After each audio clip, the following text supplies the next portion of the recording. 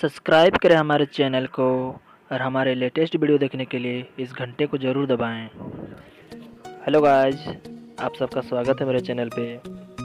आज फिर एक नया टॉपिक लेकर आया हूँ एटीएम से आप जियो का रिचार्ज कैसे कर सकते मेरे सारे फ्रेंड मुझसे कहते हैं, भाई एटीएम से रिचार्ज कैसे करते हो? तो चल भाई, आज मैं सब बता देता हूँ, कैसे मैं एटीएम से रिचार्ज करता हूँ। सबसे पहले अपने मोबाइल पे आ जाओ। माई जियो ऐप को ओपन कर लेनी है। चलिए ओपन कर लेते हैं। और आपको रिचार्ज की जो बटन दिख रही है, उसको क्लिक कर लेना है। यहाँ से आप जो भी आपको पसंद हो, जितना का रिचार्ज करना है, उसको देख लें। उसके बाद नीचे में आपको जो बाई का बटन दिख रहा है, वहाँ पर क्लिक करनी है।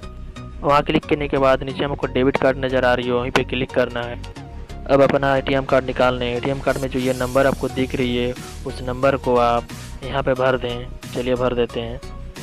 उसके नीचे में जो आपको नंबर दिख रही है नाइन ट्वेंटी वन उस नंबर को आप यहाँ पर भर दें। चलिए भर दिए। एटीएम के जो पीछे साइड में आपको ये नंबर दिखेगी तीन अंक की, उस नंबर को यहाँ पे भर देना है। चलिए भर देते हैं।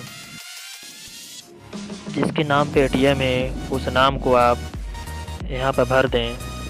उसके नीचे में आपको मेक पेमेंट लिखा हुआ दिखाई दे रहा है, वहाँ पर क्लिक करें।